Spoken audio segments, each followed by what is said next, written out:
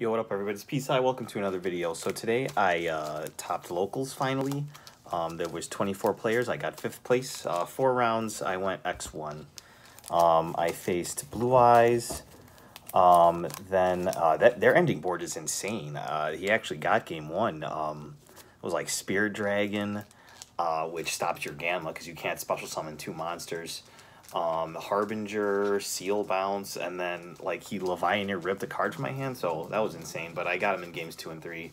Um, then I faced Altergeist. Uh, he bricked twice. Rest in peace, Nathaniel. Um, then I played Adrian. Um, he was playing um, like uh, uh, Phantom Knight, Burning Abyss. Uh, I just I couldn't play through it. Like that that end board is crazy too. Um, and then finally, uh, I faced Emmanuel. He was playing Drytron. Uh, he kind of bricked. Uh, he ended on a couple negates, but Dragon Link is too strong. So uh, for my fifth place win, I got three packs. So let's open up some packs. All right, we got Armor Dragon Ritual, uh, Dogmatika card, uh, Metal Foes, S-Force. We got an Ultra Rare, the Window Witch Ultra Rare. Nice. Spriggan's Fabled Treason. I don't think I've ever gotten that one before. All right, next pack.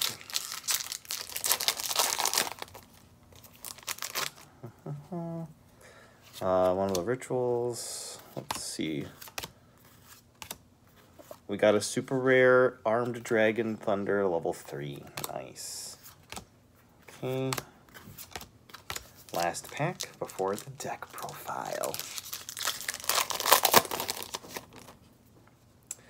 Okay, Thunder Dragon card, Metal Foes, that thing. Our super rare is a ultra rare live twin Lil-la Treat. So we got two ultra rares, nice. I didn't know they made a zombie one. Um, and then this stuff. All right, enough of that. Let's take a look at the profile. So I cut it down to 42. Um, because consistency. I couldn't, I, I tried to cut two more cards, but I could not, and then also fit the Dragoon package. Oh yeah, I'm back on Dragoon in 42. I did draw the Red Eyes, but like, every other deck is so much weaker now that you don't care if you draw the bricks, so it ended up working out. Um, so, double Starliege Seyfert, pretty good card. Only two Rokket Tracer. I don't think I've ever played only two. I'd have to look back at old profiles. One Recharger, double Rokket Synchron. You absolutely need two, guys. Like, you drawing this with World Legacy Guard Dragon is full combo because of Needle Fiber. Like, you need to have that in deck, though.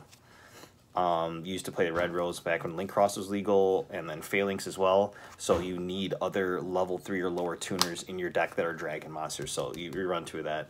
Uh, and then finally Rocket, um, uh, or Absorouter Dragon. Then the one-ofs. Um, one Brotar, one Black Metal. It feels weird not playing three of this. Uh, one uh, parlor. I don't have dragon chambers, uh, but this is cool. It could be a, a, starter, and then like I don't know, just don't, don't just get the chambers. Um, white and black, Noctovision. This card is insane. Um, Red Eyes Darkest Final. Then the hand traps. Now I'm doing something more reasonable. Main decking two Lancea. Triple Ash Blossom and Joyous Spring and triple gamma with the driver. So cool combo uh, that I did on the Blue Eyes player. Uh, he normal summoned the Sage with Eyes of Blue in game three, and I gammaed, and then he set two back row and passed. So it end phased Lancea, um, and uh, I got to keep my gamma and driver, and I got to start my turn off with needle fiber just free. Free. Love that combo. Finally, for the monsters, the other two bricks, Dark Magician and Red Eyes Black Dragon. So onto the spell cards. So we got the one Red Eyes Fusion. Uh, you know what I actually ended up doing a lot? Um, I cited out the Dragoon package. Like a lot. Um, it was weird. Uh, but I, I heard that you could do that online. And um, I tried it and it worked. Like I didn't see the bricks. I got it, it gives you more room for hand traps, I guess. It's like kind of like playing an upstart goblin because Dragoon's not going to be um, your priority for every game. It's good to have it in game one so that they fear the Predaplant Verte Anaconda. Like sometimes you just summon Verte so that it can get reacted to. Um, honestly, some people play the Verte without playing the Dragoon package at all, just because Verte like demands a response unless you have effect negation. So, uh, one for one, uh, great extender. I drew that in Absorouter Dragon. Game over. This with Absorouter Dragon is also gasoline, chaos space. Uh, the triple uh, World Legacy Guard Dragon, the triple quick launch, still running through that. Uh, the one boot, the one field spell, and the two tidying. You don't need chambermaid to play tidying. Still really good. Extra deck, Nibiru token, Dragoon, uh, Savage.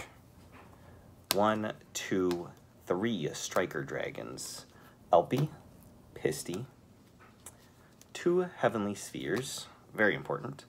Predaplant Verte Anaconda is back in business. Romulus, Crystron Halqifibrax, Apollousa. This comes up. Saryuja, MV fucking P. Love that card. And Borrelsword.